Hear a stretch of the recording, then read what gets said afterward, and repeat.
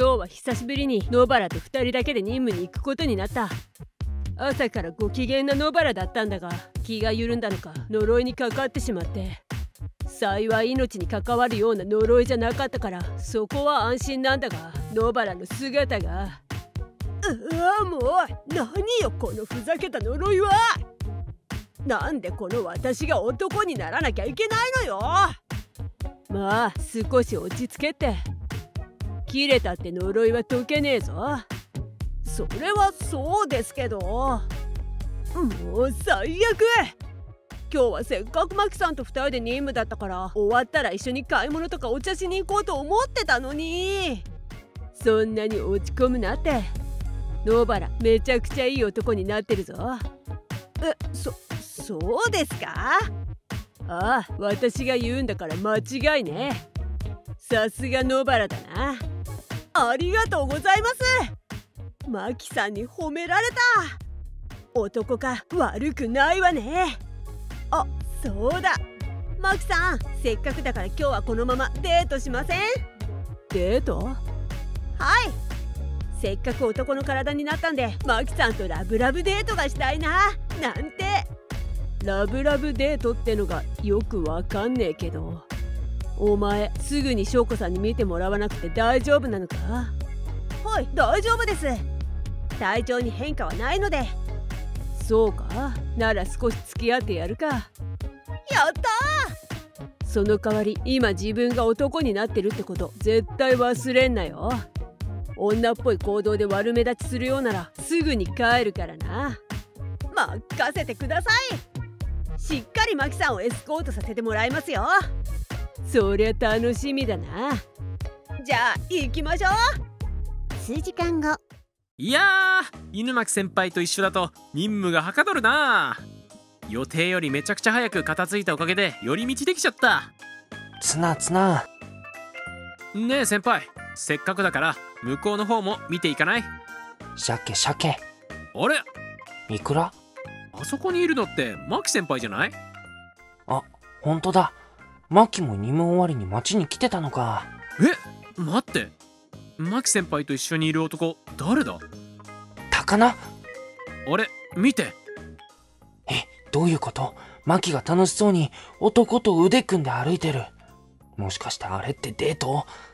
マキに彼氏なんてそんな。ちょ犬巻先輩大丈夫？じゃあなさそうだね確かに先輩からしたらめちゃくちゃショックな現場を目撃したって感じだもんな。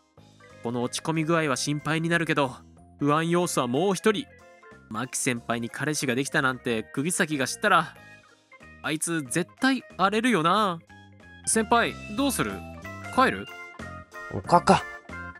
尾行？マジで？鮭。確かに変な男じゃないか確認するべきか。よしじゃあ尾行しよう。鮭鮭数分後。マキがめちゃくちゃ楽しそう。しかも彼氏かっこよすぎない？長身でイケメンでそれでいてすごくマキのことを大切にしてる感じが伝わってくる。美男美女カップルすぎて近寄れないよ明太子。先輩元気出してよ。その時。あれ？トゲとユージじゃねえか。何してんだ？こんなところでやべえ見つかった。うわあマキが彼氏と一緒にこっちに来る。えー、っと今日俺ら一緒の任務だったんだけど予定より早く終わったから寄り道を。そうだったのか。奇遇だな。私たちもだ。あのー、その人は？その人って野原のことか？ああなるほどこいつら私と一緒にいるのが男になった野原だって気づいてないんだな。よしそれなら。こいつ私の彼氏だ。筋子。マジで？いつの間に？虎杖たちが私に気づいてないからマキさん悪乗りしてるのね。それじゃここは私も乗っかって。はじめまして。最近付き合い始めたばかりなんだうわーマジっすか。どうしよう。このこと釘崎が知ったら絶対大暴れするに決まってるって。俺嫌だよ。釘崎怒ると鬼ババみたいになるんだぜ。ああ誰が鬼ババだって。虎取絶対許さん。マジでマキに彼氏ができちゃったんだ。それにしても、この二人めちゃくちゃお似合いだな。並んで立ってるだけで絵になるし、俺の入る好きなんて完全にないよ。いやでも彼氏さんマジでイケメンっすね。マキ先輩より年上なんすか？いやマキさんの一個下だ。ってことは俺とタメ？すげえ大人っぽい。当たり前だろうが。あんたみたいな妹子と私を一緒にすんじゃないわよ。マキって年下が好みだったのか。ってことは、俺に望みなんて最初からなかったんだ。トゲどうした？さっきからやけにおとなしくないか？犬巻先輩のことは今はそっとしといてあげて。ん？犬巻先輩ってばマキさんに彼氏ができたと思って相当ショック受けてるのね。よーしここはちょっとだけいたずらしちゃおうかしら。そうだせっかくだし今から4人で遊ぶのはどうかな。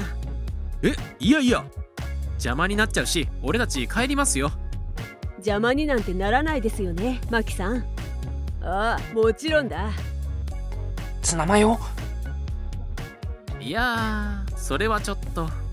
じゃあどこかに移動しますか？マキさんはどこか行きたいところあります？俺たちのことは無視かよ。っていうか今めちゃくちゃ自然にマキ先輩の腰に手回したな密着してるのに全然いやらしくなくてすげえスマート。これがイケメンの実力か。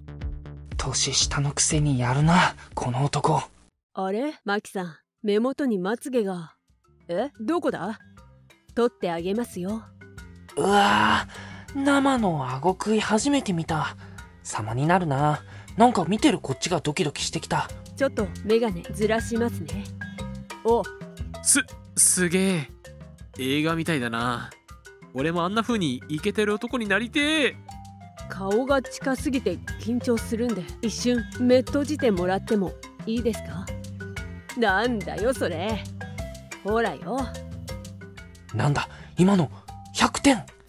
今まで超イケてる男だったのに、ふとした瞬間に年下感出してくるのずるくない ?100 点すぎない？さすがのマキもちょっと照れた感じだったし、絶対ドキッとしてたはず。って、あれ？なんで俺が興奮してるんだ？はい取れました。サンキューっておい！え？今チューした？チューしたよね？すみません。つい。ついじゃねえよバカ。マジかよ。こんなことできる人少女漫画の世界にしか存在しないと思ってた。もしかしてこの彼氏外国育ちか？俺とはレベルが違いすぎる目の前でマキが彼氏と。それはさすがにショックがでかすぎる。あ犬巻先輩？大丈夫？おいトゲ？あれもしかしてショックの限界超えちゃった？昆布。ったくお前はやりすぎなんだよ。特に最後のあれはなんだよ。ギリギリまで顔近づけてきやがって。すみませんちょっと犬巻先輩をからかってやろうと思って。虎杖ちゃんとキスしてるように見えた？え見えたけど？っていうかあれ？なんで俺たちの名前知ってんの？もうあんたまだ気づかないの？あ？どういうこと？峠しっかりしろ。お前には刺激が強かったかもしれないけど相手は野原だから。いくら？それってもしかして午前中の任務で呪いにかかってな。野原が男になったんだよ。せっかくだからデートしてもらって1日限定でマキさんの彼氏になったのよ。うわ完全に騙されたわ。は？マジで釘先なの？めっちゃイケメンじゃん。俺より背高いし筋肉も程よくついてる。超いい感じだな。元がいいんだから当然でしょ？男の体になっても魅力が溢れ出しちゃったみたいね。いやちょっと待って。その姿で女口調だと混乱するわ。ああ？つうかあんたさっきはよくも私のこと悪く言ってくれたわね。誰が鬼ババだって？ああいやあれは違くて。何がどう違うか説明してみろや。待って釘崎その姿で凄まれるとビビっちゃう。お前らあんまうるさくするなよ。あの男の正体は呪いで男になった野原。ってことはツナツナなんだ？筋子？彼氏？私に彼氏なんているわけないだろ。よかった。あちなみに昆布？高菜？は？年なんか気にしたことねえよ。鮭。ん？なんでそんなに嬉しそうなんだ？全部誤解だったんだ。本当によかった。あんなスマートな人が相手じゃ勝てるわけないって思ったけどまだ俺にも望みは残されてるはず。それにしても男化した野原かっこよすぎない？マキも普段からかっこいいしうちの女子は本当にイケイケだなさっきまでこの世の終わりみたいな顔してたくせに変なやつだな。いくら？まあいいか。おいお前ら。ネタばらしも終わったしそろそろ高専戻るぞ。はうっす。はあ楽しかった。んなんか向こうから来る自転車すごいスピードが出てるような。えあの自転車このままだとマキのとこに突っ込むんじゃ。危ない。ーいマキさん。おお野原がマキの腕を引いて抱き留めた。セーフ。なんだ？一瞬で体が野原の腕の中に。なんで私は野原に抱き留められてドキドキしてんだ？ち危ねえな。人混みではスピード落とせ。マキさんが怪我したらどうすんでくれ釘崎落ち着いて。もう自転車の人行っちゃったから。牧先輩大丈夫？釘崎のおかげで怪我はなさそうだけど。ああ大丈夫だ。野原ありがとな。マキさん本当に大丈夫でした？大丈夫だからそろそろ話してくれ。調子が狂う。